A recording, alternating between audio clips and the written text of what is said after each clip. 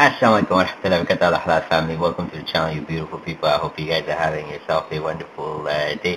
Alhamdulillah guys, I'm still uh, recovering. I have a little bit of uh, the flu uh, still, but alhamdulillah, slowly, slowly it's getting uh, better each day. So today's video guys, I'm bringing you another beautiful reaction. This video was suggested by DG Print on Instagram. My guys say thank you very much, shukran merci for taking the time to send me your recommendation and suggestion. The video is by Islam ID and it's a bunch of Canadian uh, children who are singing uh, Talal Badru Alaina. So it's really, really cool video. I'm really excited to uh, react to this. So without further ado, guys, let's get started with this video. Wow, so hey, young kids, probably like elementary school age.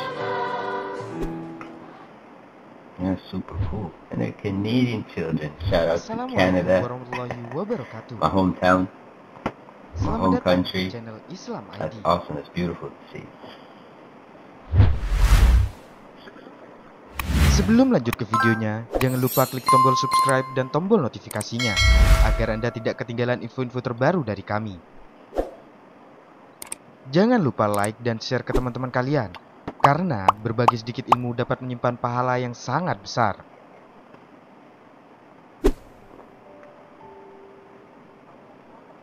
Paduan suara anak-anak Kanada menyanyikan Tola Al-Badru Alaina. Al Badru Alaina. Nabi Muhammad Shallallahu Alaihi Wasallam. Saat dahulu Nabi hijrah ke Madinah, Nabi disambut para ansor dengan syair sanjungan Tola al Badru Wow, Alaina. that's a Syair tersebut sangat masyhur. Kemudian beberapa waktu yang lalu, paduan suara anak-anak Kanada menyanyikan syair sanjungan Tola al Badru Alaina. Ah,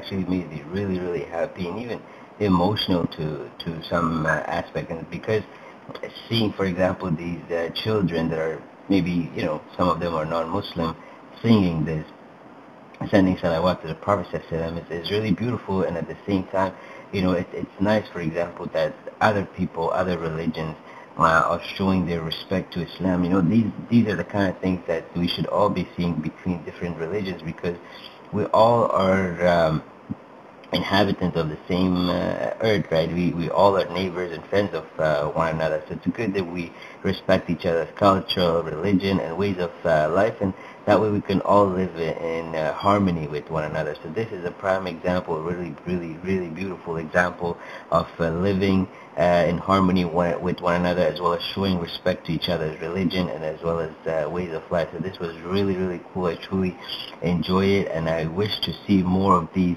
uh, not from children, also from adults. So that way, you know, we can share love and respect for one another and the communities of uh, the world that we uh, live in. So thank you, thank you, thank you very much guys for suggesting this video. If you liked it as much as I did, then please don't forget to like, comment, share, and subscribe. And as always, thank you, thank you, thank you very much for all your love and support. I hope you guys have yourself a wonderful day. Take care of yourself and your family, inshallah. I'll see you guys in the next video. Take care and wassalam.